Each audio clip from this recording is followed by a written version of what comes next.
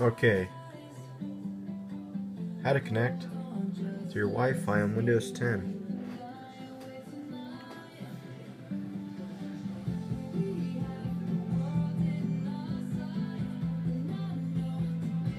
Problem I was having is I was getting the the yellow triangle here uh, next to the Wi-Fi that said it was connected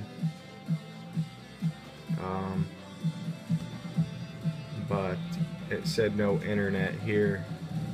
Uh, I tried to type in the password but it was already typed in um, so there, it wouldn't allow me to like retype in the password. So what I ended up doing is uh, checking out the router. It actually needed to be reset. So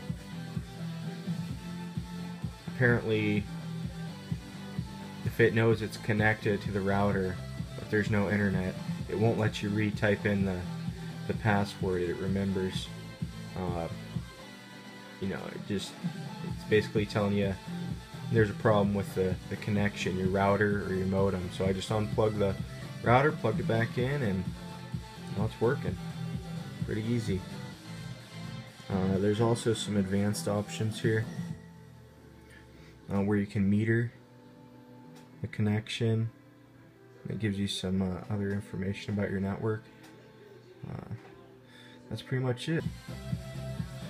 Yeah, if this helped, please like, subscribe for more easy to understand how-to videos. Thank you.